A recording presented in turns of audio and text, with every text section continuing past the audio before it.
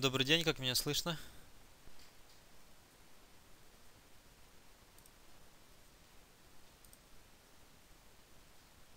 Отлично.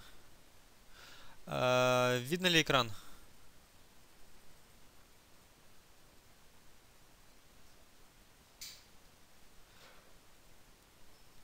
А, давайте буквально минутку. Кто не видит экрана, попробуйте выйти, перезайти. Потому что я почему-то не мог его включить долгое время. Что-то плохо, э, плохо, плохо работало. Попробуйте перезайти, должно показывать.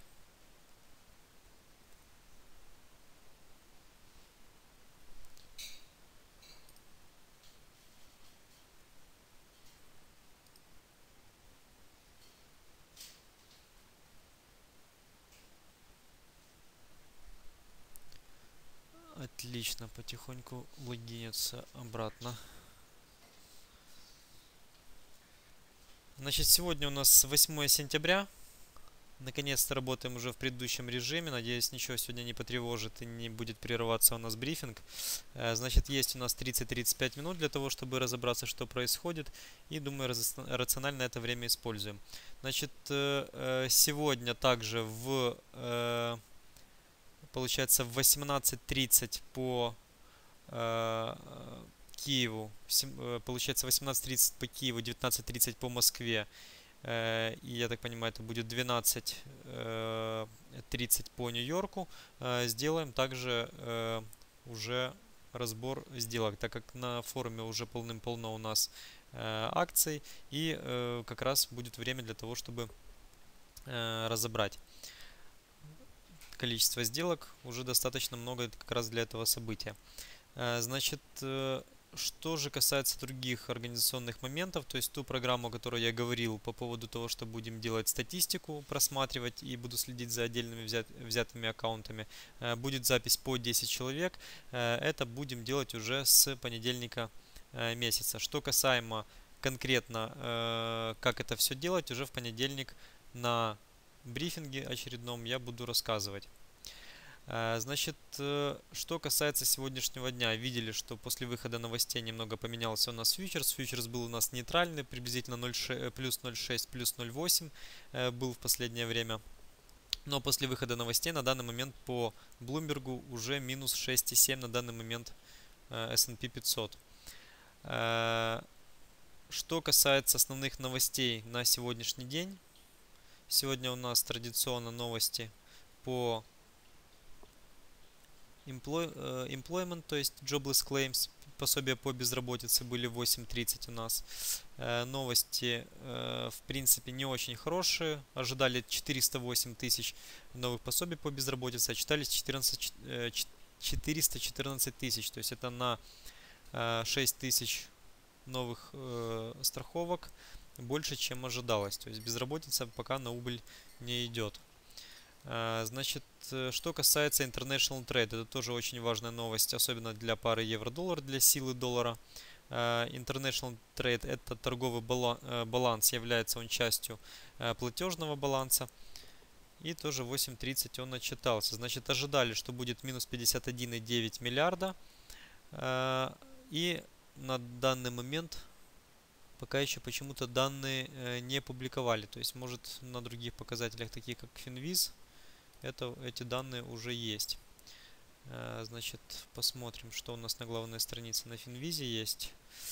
Э, значит, Trade Balance.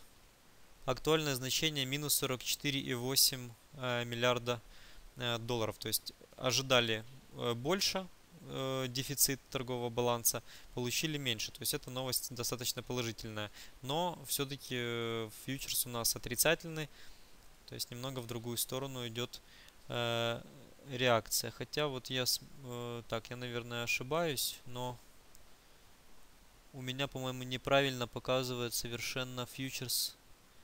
Либо это Bloomberg немного отстает. Но у меня фьючерс в Blackwood может это неправильно, но у меня вообще плюс 34 показывает. Э, у кого в Blackwood включены индексы, посмотрите, сколько показывает фьючерс по S&P 500. Потому что у меня показывает плюс 34,5.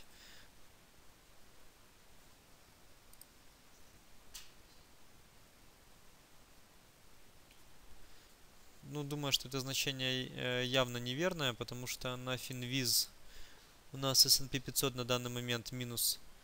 6 и 1. И что касаемо Блумберга, у нас минус 6,7. Вот в ТОСе показывает минус 11. А, вот подсказывает, что он так с самого начала э, до новостей показывал. То есть это, скорее всего, заклинило его на э, вчерашнем э, индексе, то есть на вчерашнем значении индекса, так как индекс закрылся по Dow Jones плюс 275. Значит, э, что касается индекса Dow Jones, то есть тоже видели, какие у нас интересные движения происходят в последнее время.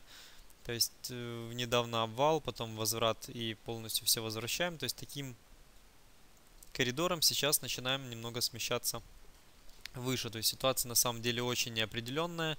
Э, непонятно, будет ли у нас все-таки основные индексы находить дно, а потом идти выше, или уже с этих значений пойдет выше. Но могу сказать одно, так как фьючерс у нас каждый день веселый, э, это очень даже э, положительно для внутридневной торговли. Поэтому если хотя бы до середины сентября или вообще на весь сентябрь так, такие фьючерсы у нас будут и будет такая неопределенность на рынке, то мож, можно сказать, что нам очень повезло, потому что обычно сентябрь месяц э, это при нормальной ситуации на рынках это довольно-таки спокойный и э, медленный э, рынок, не, в, не всегда Э, скажем так, в хорошую сторону. Почему? Потому что движение может такое быть, что вообще на протяжении дней не быть. То есть первые там 15-20 минут может происходить расторговля, потом целый день э, многие акции стоят в флете, и только некоторые из них э, делают неплохие движения. То есть всегда можно, в принципе, найти э, хорошие акции. На любом рынке, в принципе, можно зарабатывать, но это очень серьезно, э, на самом деле, осложняет э, саму задачу, как это делать. Значит, одну секунду.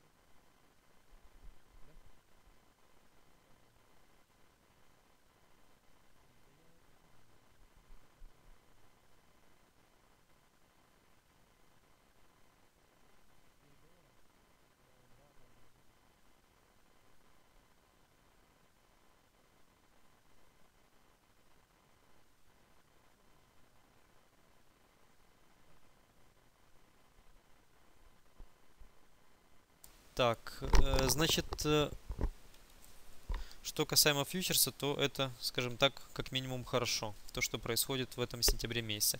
И э, межотчетный период у нас, как вы знаете, будет идти до 20 октября, э, поэтому э, пока желательно нам заниматься, конечно же, в большей степени э, анализом э, своих действий, то есть анализом самого рынка и готовиться уже к следующему отчетному периоду.